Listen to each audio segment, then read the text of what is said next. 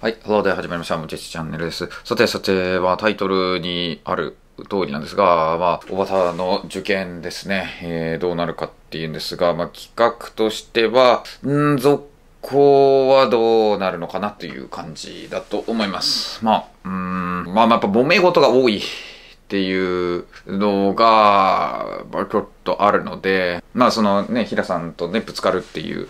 こともあったと思うんですが、ちょっと僕ともね、ぶつかるようになったので、今のままでのちょっと企画続行はなかなか大変かなと思います。まあ、ただ、まあ今後、早稲田系の模試とかはこうあったりするんで、その辺ので動画また出るっていう感じにでもいいというか、そういう感じでって伝えてはあります。まあ何も返事返ってこないんでわかんないです。その後進むのか。まあ共通テストを受けるという前提で話は進んでて共通テスト模試とかってやってきてたんだけど、まあ本人がやっぱ取れないから、点数が取れないからもうやりたくないと。で、共通テストの受験はしたくないと。まあ別にいいんですよ、それは。それはそれで。まあ視聴者からするとね、一緒に受けたいですね。一緒に模試受けて、一緒にね、試験受けてすごいモチベーションになってますってあってたし、まあそういう前提で企画自体も進んでたんで、それはどうなのっていうふうに言ったんだけど、まあ、共通テスト対策取れんと。取れるようにならないし、だから対策すれば取れるようになるけど、その対策をする時間がもったいないと。だったら別にいいじゃん、対策しなくていいから、そのまま受ければいいじゃんっていうふうに言ったんですけど、ただ動画に出る以上対策したくなっちゃうんですとか、いろいろ言って、ああだこうだ。で、最終的にじゃあもう別にいい、受けなくていいし、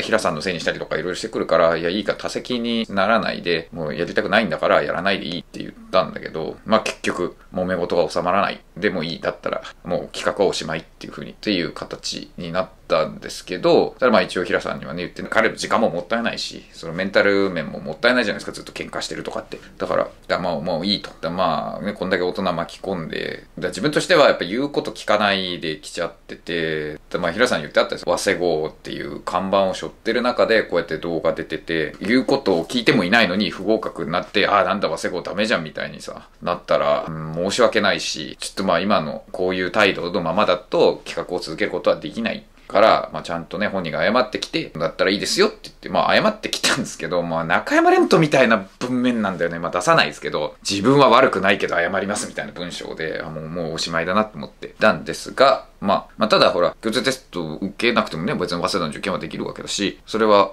その通りだから、共通テストなしでいくっていうのは別にいいと思いますよ。今ね、視聴者からすれば、主人公のいない共通テストみたいになっちゃうと思うんで、まあ、それはどうなのとは思ったけど、別にそれで、本当に早稲田受験できないんだったら、じゃあ別にやる必要はないよっていうふうには伝えてあるので、じゃあ共通テストもしも受けなきゃいいと思ってるんで、だからまあやるんだったら、もう共通テスト系は一切オーバーとは出ない。それで、他のものだけでいいという形にしました。だからそのね、早稲田の模試に集中したい共通テストやりたくないって言ってたんで、じゃあ、まあ、早稲田の模試を受けたらでいい。他のはじゃあ、なしでっていう形です。だから分かんないです。このまま終わる可能性も全然あります。何も返ってきてないですから。という形になりました。まあ、どちらにしろ早稲田の模試っていうのは多分10月だと思うんで、それで分かるという感じだと思います。はい。でもね、そこがね、キラさんもね、かっこいいんだよね。受験勉強とね、チャンネル出演はね、分けて考えよう。僕はチャンネル企画は別として、彼の合格も不合格も一緒に受け止めますって言ってね、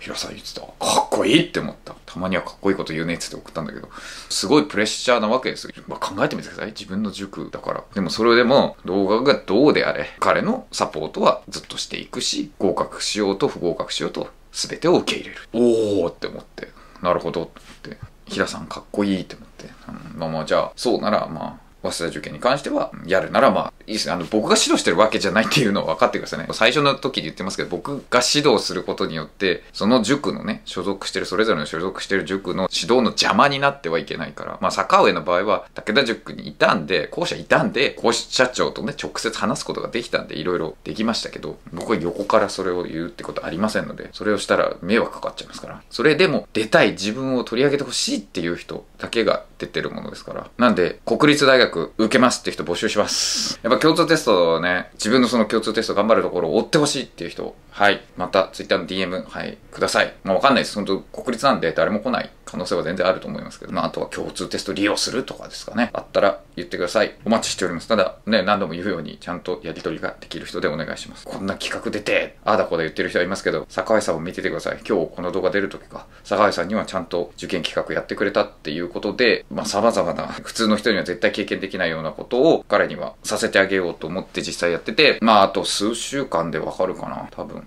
早ければ今週かな。でも来週かな。おそらく来週には彼への受験合格のプレゼントを発表しますので、実はまあこの動画が出てる30分後に私は本人に発表するんですけど、その動画が来週かな。はい、出ると思いますので、そちら楽しみにしてください。本当に誰も経験することのできないものを彼にはあげます。だからそれぐらいちゃんとその受験後のことは考えてやってるプロジェクトですので、まあ追ってほしい方は応募してください。はい。よろしくお願いします。はい、ご視聴ありがとうございました。Thank you for watching.